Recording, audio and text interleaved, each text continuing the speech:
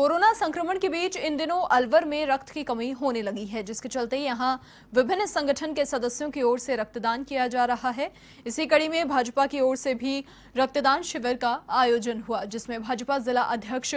संजय नरुका और विधायक संजय शर्मा के निर्देशन में कार्यकर्ताओं ने ब्लड डोनेट किया।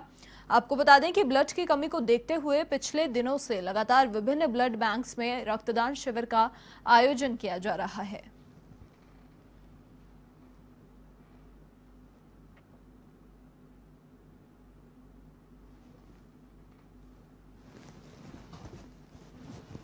कोरोना जैसी वैश्विक महामारी को लेकर के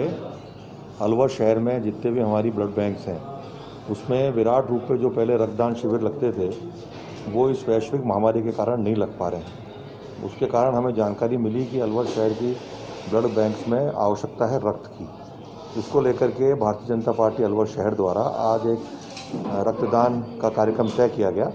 और उसमें सोशल डिस्टेंसिंग का ध्यान रखते हुए हमने अलग अलग समय पर अपने कार्यकर्ताओं को आग्रह किया कि अलग अलग समय पर वो आकर के जो जीवन धारा हमारी ब्लड बैंक है, उसमें आकर